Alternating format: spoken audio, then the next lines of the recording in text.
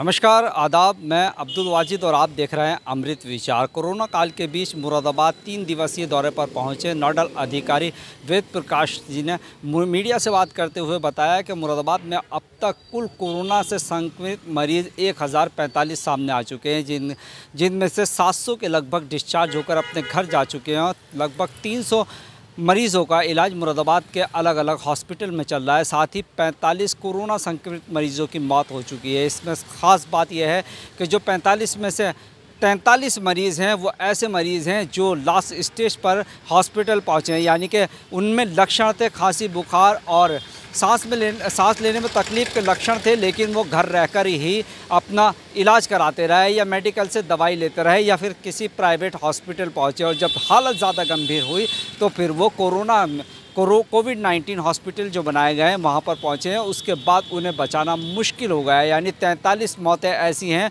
जो लापरवाही से हुई है, ख़ुद की लापरवाही से हुई हैं। उन्होंने साफ़ तौर पर मुरादाबाद की जनता से अपील की है कि आपको अगर खांसी, ज़ुकाम, बुखार या सांस लेने में तकलीफ़ है तो आप बिल्कुल इसमें लापरवाही ना बरतें। तुरंत कोविड 19 हॉस्पिटल या सर, प्रशासन की तरफ़ से जो टोल फ्री नंबर जारी किया गया है। उस पर संपर्क करें और वक्त रहते अपना इलाज कराएँ। साथ ही उन्होंने उत्तर प्रदेश सरकार की तरफ़ से जो आइसोलेशन की जो सुविधा, होम आइसोलेशन की जो सुविधा बनाई गई है, उस पर भी जानकारी देते हुए बताया है कि अब जो एसिम्टोमेटिक मरीज़ होंगे, वो घर रहकर ही अपना इलाज करा सकेंगे। हालाँकि उत्तर प्रदेश सरकार की तरफ़ से गाइडलाइन ज़रूर जारी की गई है। गाइडलाइन को फॉलो करने के बाद जो एसिम्टोमेटिक मरीज़ हैं, यानी जिनमें कोई लक्षण नहीं है वो कोरोना पॉजिटिव हैं, उनका इलाज घर पर हो जाएगा। इसके साथ ही प्लाज्मा थेरेपी से के ऊपर भी उन्होंने काफ़ी कुछ कहा देखिए मुरादाबाद से मेरी ये रिपोर्ट। देखिए जो यहाँ पे स्प्रेड है और उसको कंटेनमेंट करने की कार्रवाई हुई है काफ़ी अच्छी कार्रवाई की है प्रशासन ने। और साथ ही साथ जो मौत का एक आंकड़ा सामने आया है, वो मौतें किस तरह की हैं, इसका ऑडिट किया गया है, इसकी रिपोर्ट। उसमें कई तथ्य इस तरह की भी बात आ रही है कि जो हमारे ऐसे लोग हैं जो बीमारी को बता नहीं रहे हैं, जो अपने स्तर पर इलाज कर रहे हैं या छुपा रहे हैं किसी वजह से, वो फिर डायरेक्टली सीरियस होकर के पहुँचे हैं। नहीं तो जो सर्विलांस के माध्यम से जिन्होंने समय से बता दिया, जिनकी टेस्टिंग हुई, एक हज़ार से ज़्यादा लोगों को भर्ती कराया गया है अभी तक, जिनमें से 700 लोग ठीक होकर के आए हैं तो उनमें से जो मौत है, वो सिर्फ़ दो ही लोगों की हुई है। ज़्यादातर और जो मौतें हुई हैं, वो ऐसी हैं जो सीरियस होने पर सामने आए लोग, फिर उनकी जाँच हुई, या कहीं अपने स्तर पर इलाज कराते रहे हैं। तो ऐसे लोगों की भी काफ़ी संख्या मिल रही है। तो मैं यही कहूँगा आपके माध्यम से कि सब लोग जो हैं, आगे आएँ और आगे आकर के अपनी जांचें जल्दी से जल्दी कराएँ और कोई घबराने की या डरने की आवश्यकता नहीं है। सिम्टम नहीं है तो घर पे रह सकते हैं, उसकी व्यवस्था जिला प्रशासन के मानक हैं। उन मानकों को पूरा करने पे घर भी रहा जा सकता है, ये भी अब शासन ने गाइडलाइन जारी कर दी है। और जो बीमारी के बारे में है कि उन्हें छुपाने की आवश्यकता नहीं है। जी।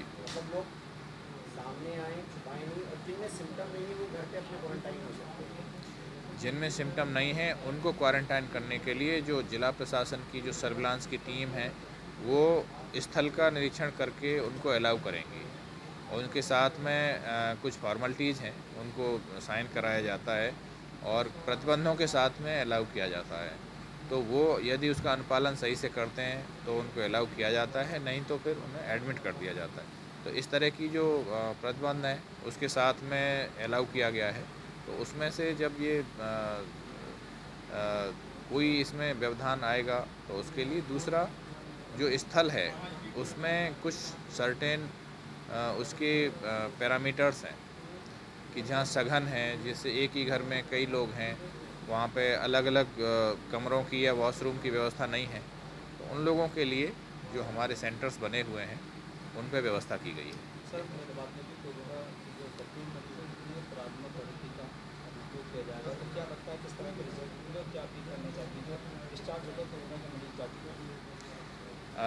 ये कोशिश की जा रही है कि मुरादाबाद में भी जिस तरह से लखनऊ में या नोएडा में जो फैसिलिटीज़ अवेलेबल कराई जा रही हैं मरीजों को, वो फैसिलिटीज़ मुरादाबाद, मेरठ, इन जगहों पे भी कराई जाएँ। इसके लिए प्रशासन लगातार प्रयास कर रहा है, सरकार इसमें प्रयास कर रही है।